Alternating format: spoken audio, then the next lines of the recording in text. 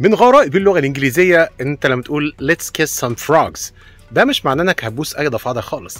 ده معناها تعال نشوف يعني كذا حل محتمل للمشكله تعال نجرب كذا طريقة. يعني let's try many ways to solve the problem. Let's kiss some frogs. ما فيش أي حاجة عشان افهم حاجة غلط مع الضفادع.